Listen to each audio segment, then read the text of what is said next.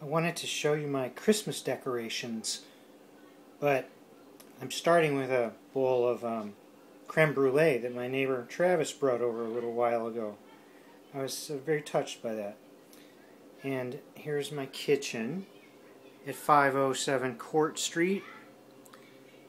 And in my living room, I have uh, some Christmas stuff that I set out, um, including this bowl of bought it at Macy's, and they called it um, Decorative Fragrance Cinnamon Cider. And I want to tell you that you can smell this 30 feet away. And if, uh, if you can't smell it through your computer screen, check your set.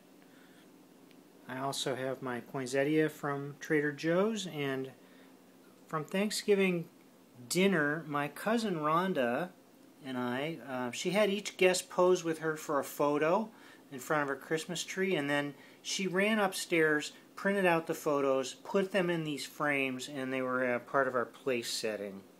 Incredible. I also have um, a picture. Uh, this has been around for a while, at least since maybe 99 or 2000. It was a little thing that Doug Renton did uh, when I worked at Ross Roy Communications, and I've always had it out at Christmas time. Poor Doug uh, died of a heart attack when he was 46 years old, a few years back here. And this is my table with my little tree that I bought at Party City. um, Susan sent me uh, some uh, Christmas decorations which arrived in the mail today, including these two elves. And then I have my candles going. Um, I got these all at Macy's, the pillars and the tapers. Um, one other thing to show you is this ornament, which came from Denmark, and it's a Georg Jensen ornament um, celebrating Christmas in Greenland. So we have the um, snowman and the hearth inside the igloo. Really beautiful.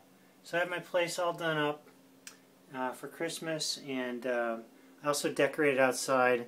And the great part about decorating uh, for Christmas in California is that uh, it was 80 degrees today, so it was really tremendous.